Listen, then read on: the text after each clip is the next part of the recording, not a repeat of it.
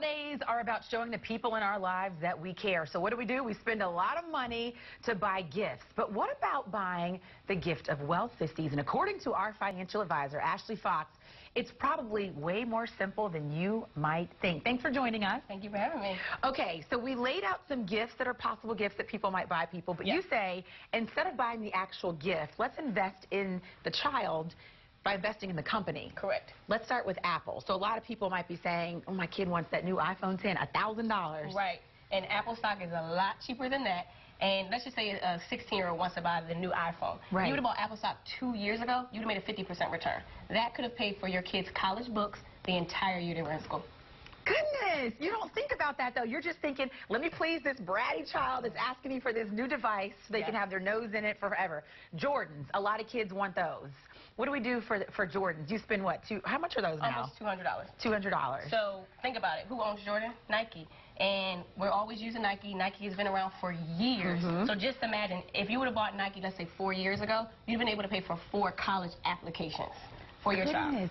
So the purchase price for Nike right now, I think, is fifty-five dollars and fifteen cents. Yes, a for share. one share, meaning you own one piece of Nike, as opposed to having a pair of sneakers that you probably won't wear in what, maybe six months because a new pair's going to come out. Or someone's gonna step on them and they'll get dirty, and then you're mad. Yes. Um, okay, the famous Xbox 360. So these are kids maybe that are like seven to ten years old. They want to be on the, or the adults. The men are on them all the Right. time. The headphones. This is a popular thing. So these, I don't even know how much they run now. They're, they're expensive. They're expensive. They're is the point, right? But one of the richest men in the world created Microsoft, which actually owns Xbox. So what if you can own a piece of a company one of the richest men in the world created? So you can say, I'm going to spend $84.27, mm-hmm. and you say that you can, you can expect to see a 140% return on your investment. So that that was based off of the past eight years.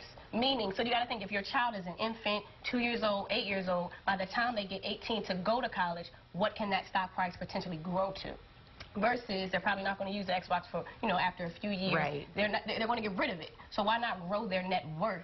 And have them be worth something. And, and as opposed to taking out student loans, ringing Sallie Mae's doorbell, why not just be able to sell your stocks to put your kids through college? I know I took out student loans, and I don't want to do that at all. Ever again. Yes, it took no. forever to pay it off. I'm, I- I'm still paying, still paying. Isn't it crazy? Yeah. It's crazy. I remember when I paid it, I had like a party for myself. It was like so refreshing and so freeing. Okay, let's talk about the toddlers. So they get all these toys, and the parents will tell you, Ashley, Yes. they don't play with them. They open them, they're excited about it, but they throw them to the side for something new that comes along. So Right.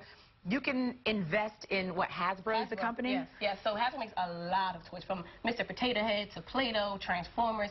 There's tons of toys that that they make. So why not? Because we're always giving them our money. They're going to make generate revenue during the holiday season. So why not buy a piece of the company? And you can still buy the toy. Right. But in this case, this this company has the potential to grow.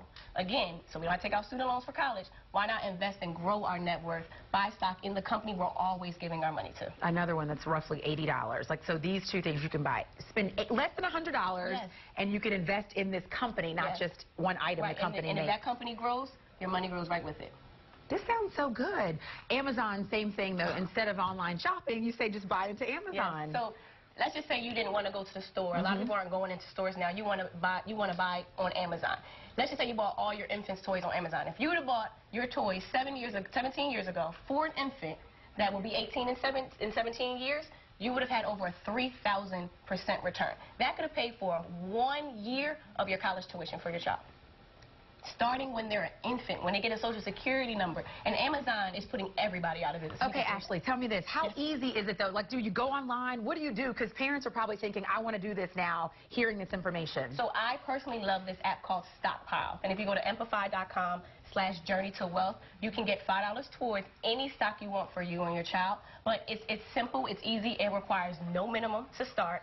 And it, only costs 99 cents every time you buy a share of a company. But it's simple, it's easy, they have graphics. I know a nine-year-old that knows how to use the stock app, and she's excited because she's buying Disney, and she's making money, and she's watching it grow. But now it's instilling in her mind I'm building wealth, and as I'm watching Disney movies, buying these products, Disney is making money, so I'm making money too. I'm doing it for my nieces. Yes. I love this. Really quickly, you have a book coming out right before Black Friday. Yes. Share with people um, what's in this book. so I'm going over the top five things you need to do to mentally prepare yourself and financially prepare yourself for the holidays. So I talk about buying stock, taking care of your mental, taking care of being gr- gracious, being grateful for what you're doing, why you're doing it, and making sure that you don't end the year On a feeling bad note. Yes. In the red. Right. So you're starting 2018 with a bang. You're excited. You didn't spend all of your money, but you also came out investing your money, growing your money, and you're mentally strong to start the holiday. Ashley, thank you so much.